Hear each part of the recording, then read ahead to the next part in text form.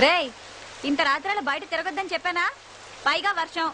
నీకేంట్రా అంత అవసరం వచ్చింది? వర్షం రాకముందు నుంచే తిరుగుతున్నానక్క ఎదవ సమాధానాలు బాగానే చెప్తావు. టీ తీసుకోక్క. నన్ను అడుగుతావేంద్రా? ఆయన అడుగు. సార్ టీయా కాఫీయా? అరే ఇక్కడ దగ్గరలో ఎవరైనా మెకానిక్ దొరుకుతారా? ఇప్పుడు ఎవరు దొరుకుతారు సార్? వర్షంలో అందరు కొట్టుకుపోయి ఉంటారు. అంటే ఆ, అది కాదు. ఆ, ఆ, పోనీ ఇక్కడ దగ్గరలో ఎక్కడైనా మెకానిక్ షెడ్ గానీ లేదా పక్క సందులో ఎక్కడైనా మెకానిక్ షెడ్ గానీ ఏమైనా ఉన్నాయా? అంటే ఏమి? ముందు టీ తాగండి సార్. తర్వాత మాట్లాడుకుందాం.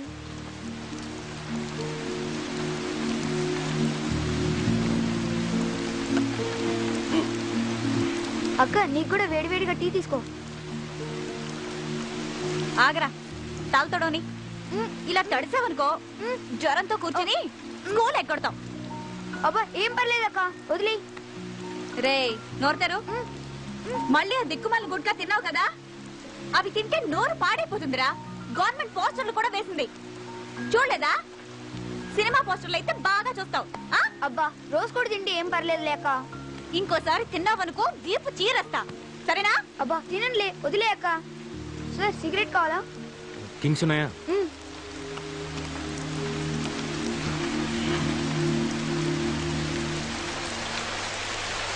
కారు సూపర్గా ఉంది సార్. రే మెకానిక్ కావాలరా. సిటీఏ సగం మునిగిపోయింది. ఇంకెవరు దొరుకుతారు సార్? డబ్బిస్తాను రా ట్రై చెయ్యి. మ్మ్. మెకానిక్ అడ్వాన్స్ ఐదు వందలు. నాకు టీ సిగరెట్లకి మొత్తం వంద. మొత్తం కలిపి ఆరు వందలు ఇచ్చేయండి సార్. ఎరా నాకే టోపీ పెడదాం అనుకుంటున్నావా? ముందు మెకానిక్ని తీసుకురా అప్పుడు ఇస్తాను. ఇదిగో ముందు ఈ వంద ఉంచు. అయితే నమ్మకం పెట్టుకోకండి సార్. ఆ?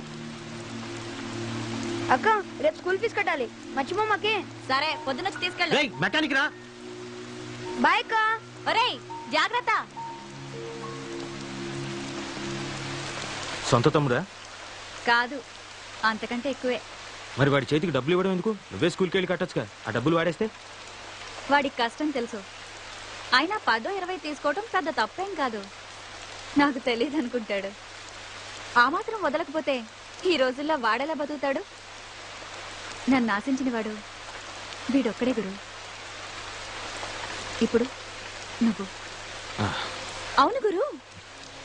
నన్ను చూస్తుంటే నీకేమీ అనిపించట్లేదా? లేదు. నా కళ్ళల్లో చూడు.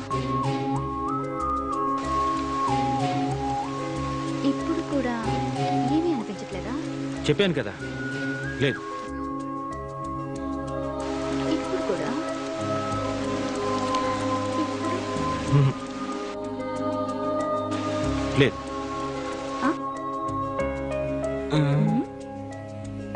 బుద్ధిగా నలక తీస్తుంటే పిచ్చి చూపులు చూస్తారా? ఐఎమ్- సారీ నేను తీయను పో. Okay okay. ఇప్పటి నుంచి నీ కళలోకి చూస్తాను. హ్మ్.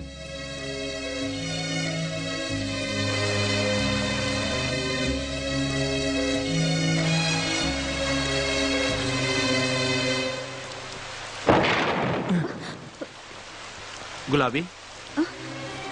వీడేంటి ఈ టైంలో వచ్చాడు? రాజా ఏం చేస్తున్నావు ఇక్కడ? తనని నేను పెళ్ళి చేసుకోవాలనుకున్నాను. తను నన్ను చేసుకోకపోతే నేను ఇక్కడే చచ్చిపోతాను. సార్ నేను మాట్లాడతాగా? నువ్వు కూర్చో. అదిగో వస్తుంది. అప్పుడే అయిపోయిందా? ఎక్కడికి వెళ్ళలేదే? అలాగా? ఆ రాజాని ఇక్కడికి రమ్మన్నావట? నీకోసం వచ్చాడు. నిజంగానా? అవునే. నువ్వు పెళ్ళికి కూడా ఒప్పుకున్నావట? నేనేదో మజాగ్గా అన్నాని. వీడొస్తాడో రాడో అని వచ్చాను. సరే వచ్చావు కదా? వెళ్ళు. హ? ఎక్కడికైనా వెళ్ళిపోయి హాయిగా బతుకు. ఈ నరకం నుంచి నిన్ను బయట పడేస్తున్నాడే ఒప్పుకోవే. అది కదే వీడికి నాకు వయసులో తేడా. అంతే. నీకు వాడంటే ఇష్టమని. నాతో ఎన్నిసార్లు చెప్పలేదు? ఇప్పుడు నువ్వు కాదంటే వాడు నిజంగా చచ్చిపోతాడు. నా మాట విని వాడిని పెళ్ళి చేసుకో. రా పద.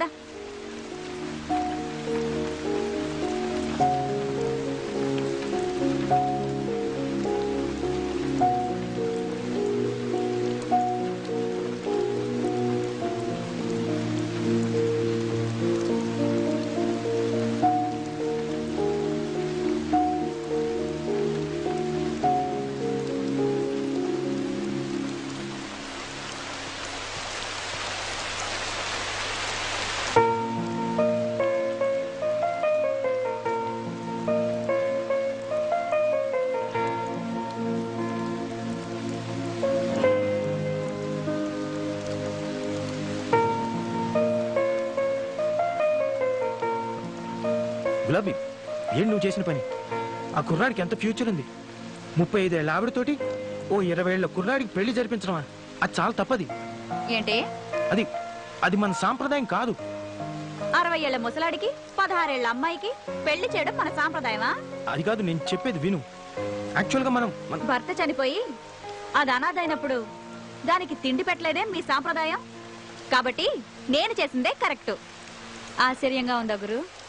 ఎందుకు అలా చేసావు వాళ్ళిద్దరు కలిసి ఉంటారు అనుకుంటున్నావా పద్ధతి ప్రకారం పెళ్ళి చేసుకున్న వాళ్ళే ఈరోజు కలిసి ఉండడం చాలా కష్టం. అలాంటిది వాళ్ళిద్దరు ఎలా కలిసి ఉంటారు?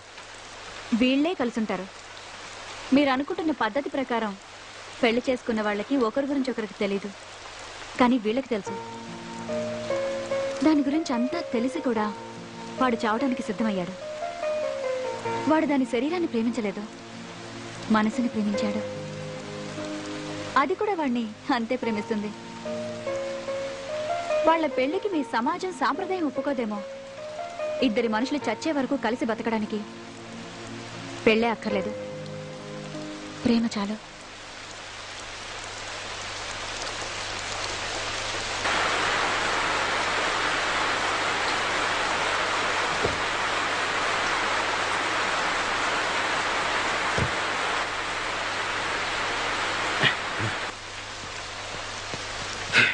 ఓ ఐఎమ్ సారీ ఏంటి గురు? మందా?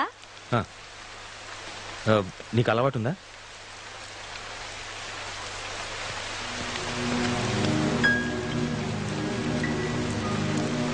ఏ పోరి నీకోసం ఏడాడ తిరగాలే. మరి నడు ఎక్కడికి? బాబన్న కాడికి నడవే. నీకోసం ఆ లొల్లికృష్ణ గారు అడ్వాన్స్ కూడా తీసుకున్నాడు.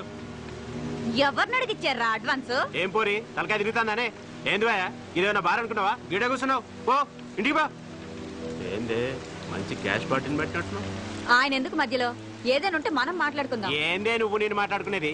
మర్యాదగా వస్తావా లేక ఎత్తుకుపోవాలా? అంత కోపం ఎందుకు? అలా రా. నీతో మాట్లాడతాను రా.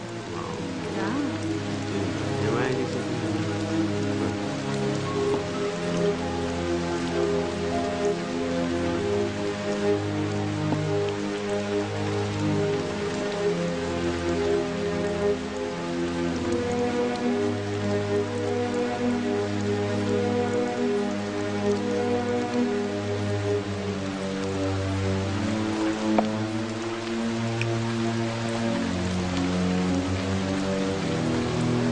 నేను చచ్చినా ఆ బంగారు బాబు దగ్గరికి రానని చెప్పు. ఇప్పటికే వాడు రోగం తగిలి నా ఫ్రెండ్ నానా తంటాలు పడుతుంది. నేను చెప్తే వింటాడో లేదో? అందుకేగా నీతో ఇంతసేపు మాట్లాడింది. ఇరికించావుగా నువ్వేం చేస్తావో నాకు తెలీదు. కావాలంటే నువ్వు ఒక్కడివే రా. మళ్ళీ మాట్లాడుకుందాం. సరే ట్రై చేస్తా. నువ్వు మాత్రం ఇక్కనే ఉండు. ఉమ్. బావన్నతో మాట్లాడి మళ్ళీ వస్తా. ఉమ్. సరే సరే. నువ్వు వెళ్ళు. సరే.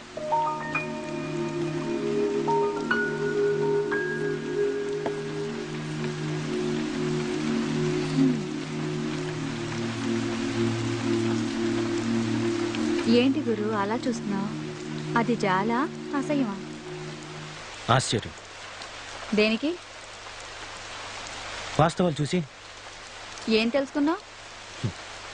నేనే చీకట్లో ఉన్నానని. అదేంటి గురు? లైట్లు ఉన్నాయి కదా? చీకటి అంటావేంటి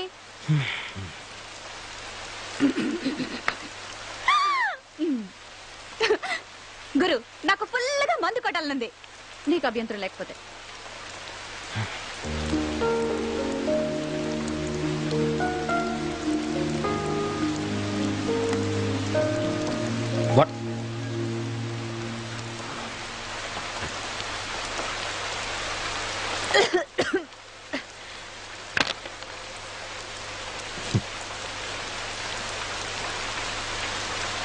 ఆ ఆ ఉమ్. ఉమ్. ఆ, ఆ.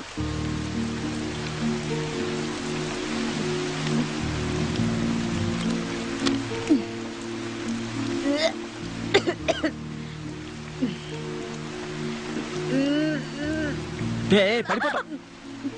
ఇంకా పడేదే ఉంది గురు. ఒకసారి నీ కారు తాళమే. దేనికి. నీ కారే వెతుకు పనులే నేను.